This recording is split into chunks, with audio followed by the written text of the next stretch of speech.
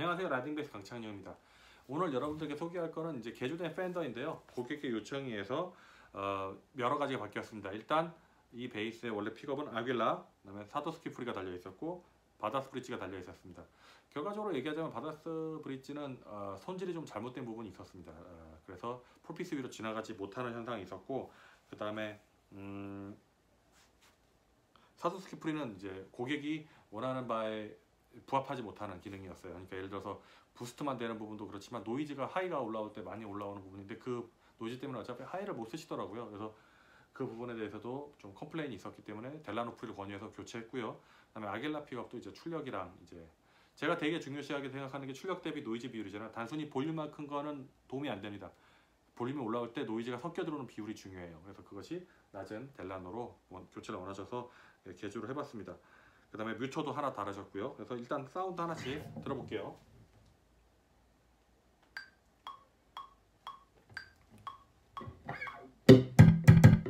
자 가보겠습니다. 먼저 모든 것이 중립 상태의 슬랩 사운드입니다.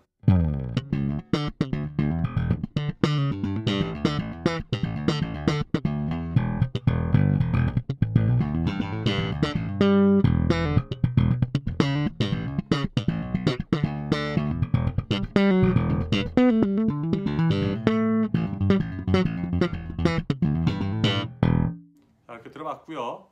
프론트 슬랩 사운드입니다.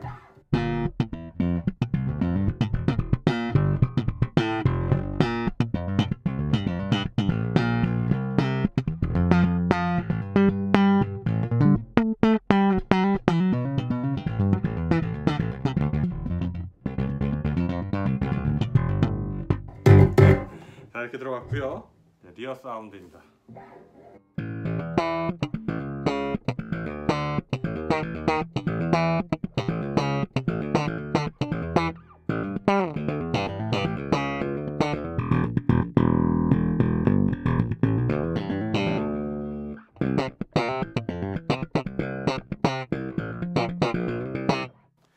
슬랩 사운드 들어봤고 모든 게 중립 핑거 사운드입니다.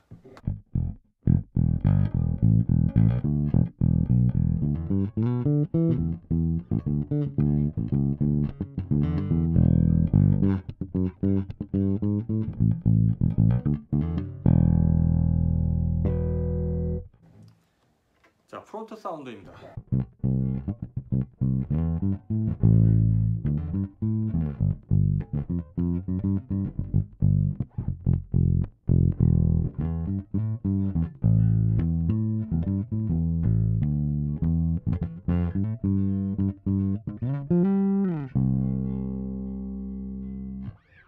리어 사운드입니다. 끄고요.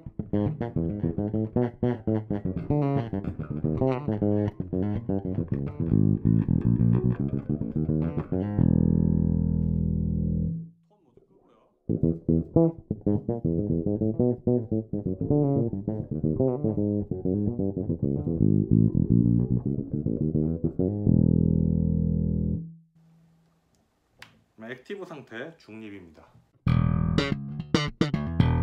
이것이 active 예, 볼륨의 차이는 없죠. 그 다음에 이제 다시 active 가서 베이스와 treble 조금씩 boost 해보고 들어보도록 하겠습니다. 좋은데요.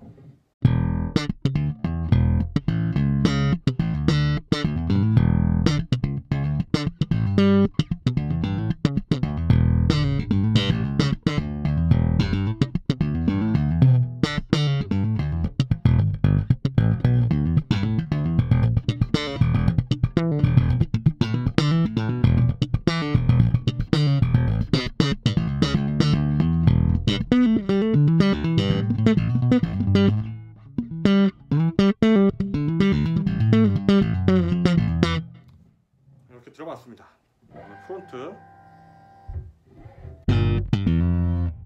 베이스 줄이고 부의 high를 좀 더 올려볼게요.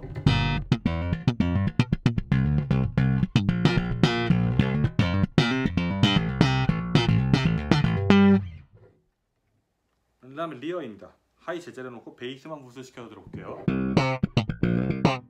베이스 full boost.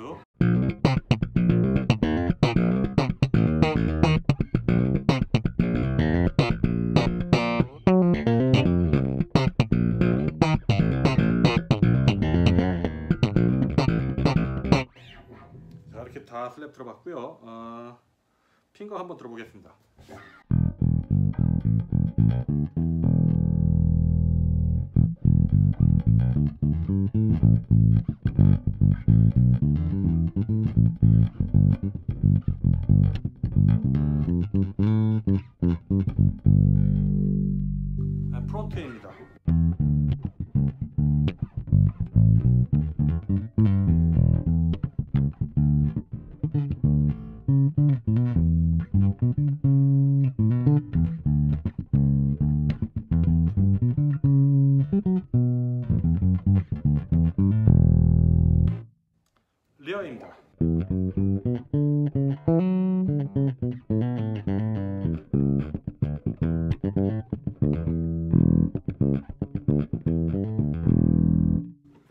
muter를 또 잠깐 들려드릴 텐데요. muter 한번 사용을 해볼게요. passive로 front 놨을 때 사운드 1단계 약하게 됐죠. 2단계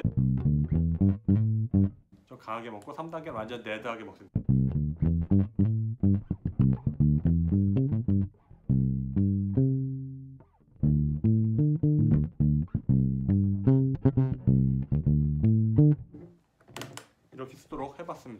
자 이제 본격적으로 한번 MR에 맞춰서 하나씩 하나씩 연주해서 사운드 리뷰를 마치도록 하겠습니다.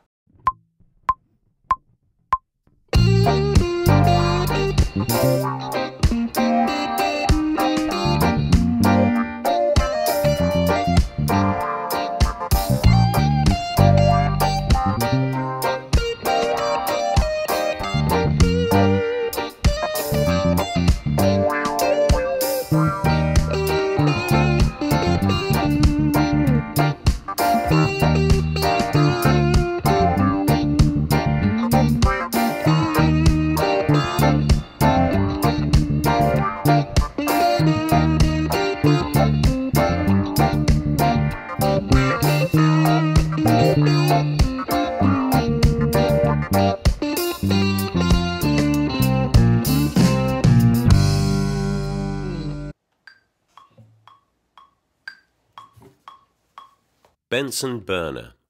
One, two, one, two.